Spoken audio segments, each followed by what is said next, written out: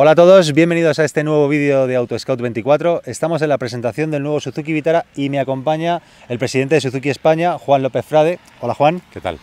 Gracias por atendernos. Muchas gracias a vosotros. Vamos a tratar un poco de desgranar para, para nuestros seguidores los cambios y novedades del nuevo Suzuki Vitara. A ver, yo veo estéticamente pocas cosas. Sí. ¿Qué cambios reales hay que no se perciban tanto? Bueno, hay cambios estéticos exteriores.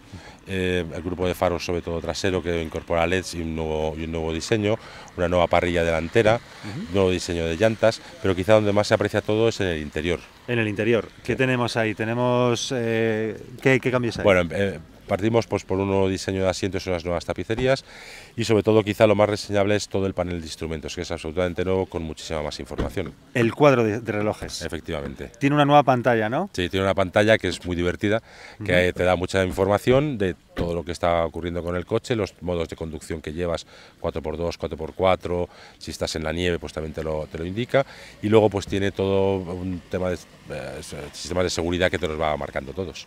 Vale, si quieres, eh, iba, iba a ir a motores, pero si quieres, esos sistemas de seguridad eh, están disponibles, pero no en el- la versión básica, sino en la GLE, que es la intermedia. Eso es. ¿Cuáles son? ¿Qué novedades aporta esta nueva generación de, de Vitara en cuanto a seguridad preventiva? Bueno, todos los que teníamos antes eh, eran eh, control de, de, velocidad de crucero adaptativo, pero ahora la verdad es que se han incorporado muchos más, como es el reconocimiento de señales, como es el, el, el aviso por el aviso cambio- por el el cambio de carril, es decir, muchos, muchos más, hasta, hasta siete nuevos que hemos incorporado en el, en el vehículo.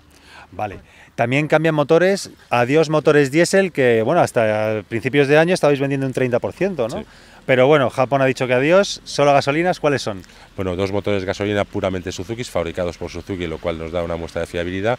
1.0 turbo, que es lo que se está llevando ahora, motores pequeños eh, de pequeña cilindrada turbo, y 1.4, que es el que ya teníamos antes. ¿El 1.4 es atmosférico o turbo? Es turbo también, Los dos turbo. los dos turbo. 111 y 140, 140 caballos. caballos, efectivamente. Y luego además también habéis hecho una gran combinación en cuanto a que puedan tener tracción delantera o las cuatro ruedas, cambio automático o manual en ambos motores, ¿no? Eso es, efectivamente.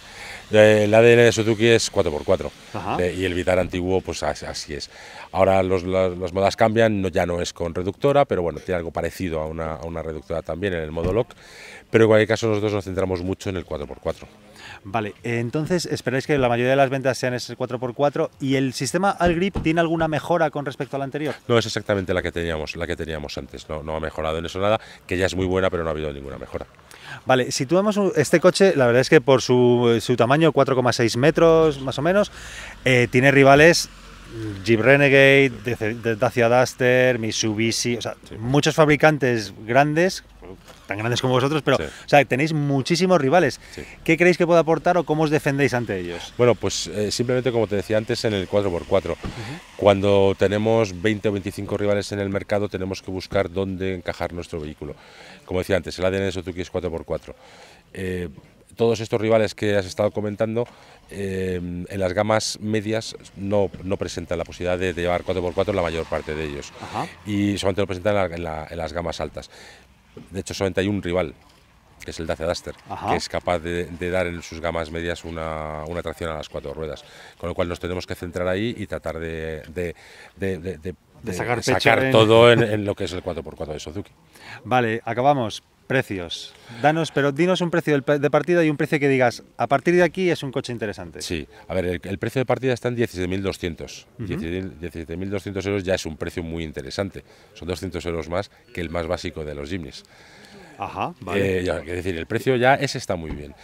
Luego ya, eso es con tracción 4x2, en el motor 1.0, la versión más básica. Pero ya Y sin empezamos a hablar... preventiva. Y sin la seguridad preventiva. Ya cuando hablamos ya de seguridad preventiva 4x4 en gama media, estamos hablando de poco más de 20.000 euros. Bien, bien. Y ya el tope de la gama son 26.500. O sea que más o menos por 20.000 euros podemos tener un coche Sí. con la calidad de Suzuki, equipado. 5 años de garantía. 5 años de garantía. Y bueno, ya que digamos que dices merece la pena hacer un poco el esfuerzo y que ronde 20.000. Eso es, eso es. así Bueno, es. Pues nada, te agradecemos un- eh, muchísimo esta atención, esta, esta conversación y, y seguro que todos nuestros Pues, seguidores también. Un placer y un saludo a todos los seguidores. Muchas gracias, poco más que añadir, un placer que hayáis estado allí, síguenos y nos vemos en próximos vídeos. Hasta luego. Gracias. Muy bien, ¿sabes?